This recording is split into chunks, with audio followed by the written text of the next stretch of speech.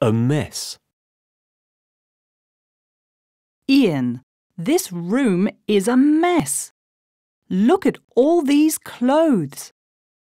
There are socks, shirts, ties, shorts, vests, and trousers everywhere. You and your brother are so untidy, especially you. No, we're not. We're just a little disorganized. Whose are these jeans on the chair? They're yours, aren't they? They aren't mine. Honestly, those are Sandy's jeans. There isn't any space at all on this floor. And whose is this leather jacket under the bed? I think that it's mine. No, it's not. That's your brother's favourite jacket. I recognise it. Are you sure it's his? It's too small for Sandy. What colour is yours? Sorry, my mistake. It is his. Mine's black, and Sandy's is dirty.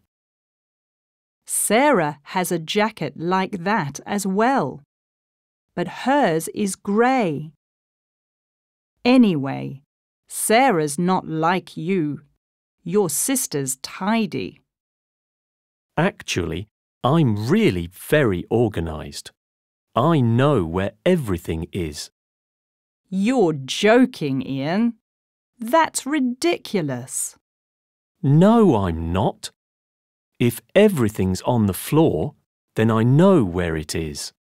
I'm not untidy. I'm just creative. Oh, no, you're not. You're messy. In future, it's your job to do the housework.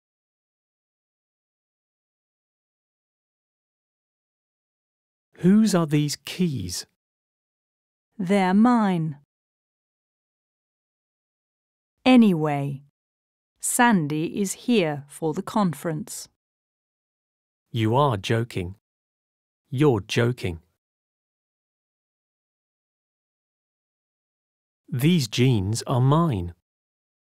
Sorry, my mistake. I am not untidy.